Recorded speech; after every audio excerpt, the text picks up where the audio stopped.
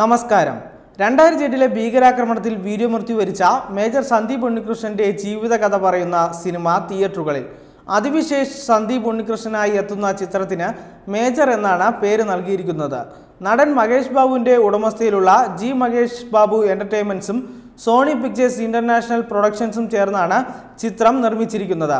ഹിന്ദിയിലും തെലുങ്കുവിലും മലയാളത്തിലുമാണ് ചിത്രം ഒരുക്കിയിരിക്കുന്നത്. ചിത്രത്തിന് വൻ സ്വീകാര്യതയാണ് ലഭിച്ചുകൊണ്ടിരിക്കുന്നത്. ഇന്ത്യക്കാരെ മാത്രമല്ല അതിർത്തിക്കപ്പുറമുള്ളവരെയും പ്രചോദിപ്പിക്കാവുന്ന ശക്തമായ കഥയാണ് മേജറിന്റേതെന്ന് സോണി പിക്ചേഴ്സ് ഇന്റർനാഷണൽ പ്രൊഡക്ഷൻ മേധാവിയും എക്സിക്യൂട്ടീവ് വൈസ് പ്രസിഡന്റുമായ ലെയിൻ ക്ലെയിൻ പറഞ്ഞു. ആഗോളതലത്തിൽ ശ്രദ്ധയാകർഷിക്കുന്ന സിനിമകൾ ചെയ്യാനാണ് ജി എം ബിയിലൂടെ താനും മഹേഷ് ബാബുവും ആഗ്രഹിച്ചിരുന്നതെന്ന് G M B managing director Namrata Shirodkar പറഞ്ഞു.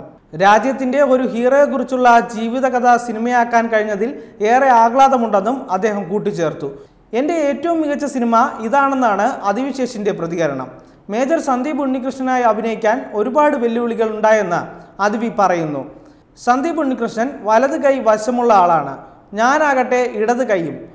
അവിടെ മുതൽ എല്ലാ കാര്യങ്ങളിലും മാറ്റം കൊണ്ടുവരേണ്ടി വന്നു. ഞങ്ങളുടെ രണ്ടുപേരുടെയും ചിരി പോലും വ്യത്യസ്തമായിരുന്നു എന്നും അതെല്ലാം മാറ്റിയെടുത്തു എന്നും അദ്ദേഹം പറയുന്നു. കഥാപാത്രത്തോട് നീതി പുലർത്താൻ പരമാവധി ശ്രമിച്ചിട്ടുണ്ട്.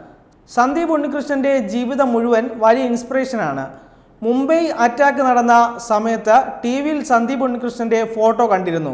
ഇന്ത്യക്കാർ ഇപ്പോഴും അദ്ദേഹത്തെ ബഹുമാനത്തോടെ നോക്കുന്നുവെന്നും അദ്ദേഹം കൂട്ടിച്ചേർത്തു.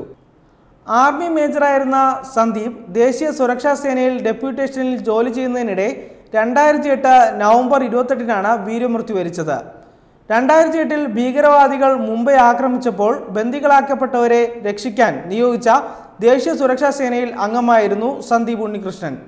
തീവ്രവാദികൾ നിലയുറപ്പിച്ച താജ് ഹോട്ടലിൽ കമാൻഡോകൾ നടത്തിയ പ്രത്യാക്രമണം ഓപ്പറേഷൻ ബ്ലാക്ക് ടൊർണാഡോ എന്നായിരുന്നു അറിയപ്പെട്ടിരുന്നത്.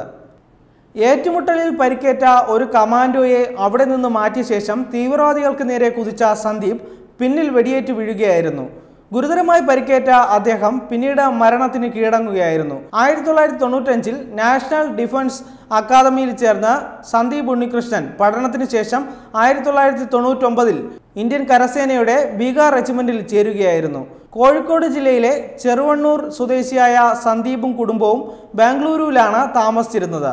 നേരത്തെ മേജർ സന്ദീപ് ഉണ്ണികൃഷ്ണനായി അഭിനയിച്ച തന്റെ യാത്രയെക്കുറിച്ച് നടൻ അതിവിശേഷ് പറയുന്ന മേജർ ബിഗിനിങ് എന്ന വീഡിയോയുമായി മേജറിന്റെ ചരമവാർഷികത്തിൽ ചിത്രത്തിന്റെ അണിയറ പ്രവർത്തകർ എത്തിയിരുന്നു. സിനിമയിൽ ഒപ്പിട്ടതു മുതൽ മേജർ സന്ദീപ് ഉണ്ണികൃഷ്ണന്റെ മാതാപിതാക്കളെ കണ്ടുമുട്ടുന്നതുവരെയുള്ള സംഭവങ്ങളാണ് അതിവിദേശ് വീഡിയോയിൽ വിശദീകരിക്കുന്നത്.